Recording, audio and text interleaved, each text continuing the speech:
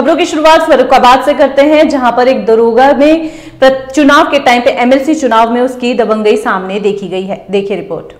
फरुखाबाद के थाना राजेपुर क्षेत्र के ब्लॉक कार्यालय के बूथ पर दरोगा के ऊपर मतपत्र फाड़ने का आरोप लगा है। कल हुए चुनाव में देर शाम दरोगा रामाशंकर पर भाजपा के पूर्व मंडल अध्यक्ष के मतपत्र फाड़ने का आरोप लगा। इसी बात पर भाजपा नेताओं ने विकास खंड कार्यालय में जमकर हंगामा किया और दरोगा को खड़ी खोटी सुनाई। सूचना मिलने पर पहुँचे एसडीएम अमृतपुर व एसओ राजेपुर ने जाँच पड़ताल की। दरोगा द्वारा मतपत्र फाड़ने के सवाल पर पीठासीन अधिकारी ने कोई जवाब नहीं दिया। राठौर। पूर्व मंडल अध्यक्ष राजेपुर भाजपा मैं अपना मत डालने के लिए राजेपुर ब्लॉक में मतदान करने के लिए गया। तो मुझे मेरा जो है क्रमांक मिलाकर मुझे बैलेट पेपर दिया गया। मैंने प्रत्याशी को वोट भी दिया।